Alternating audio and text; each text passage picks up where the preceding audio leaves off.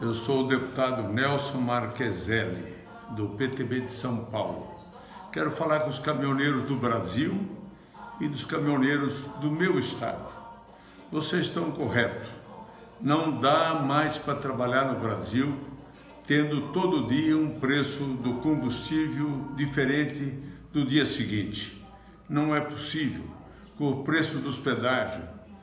Dessa forma, nós vamos inviabilizar o país porque o custo tá, do Brasil está ficando cada vez mais caro e os produtos brasileiros não vão ser mais competitivos na área internacional.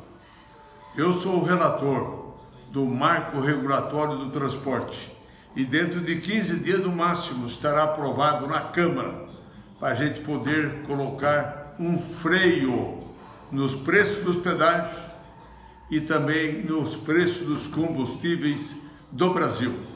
Estamos apoiando o movimento de vocês.